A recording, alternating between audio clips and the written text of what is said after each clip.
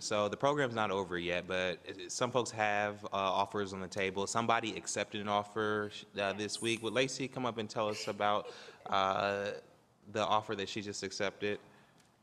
So two weeks ago, I just accepted an offer for, um, I cover my meds as an account coordinator. Um, it'll be my step in the door, um, to getting into the tech field, um, at Cover My Meds, because it was my top company that I wanted to work for. Um, but my main goal is to get into a development team, so, That's awesome.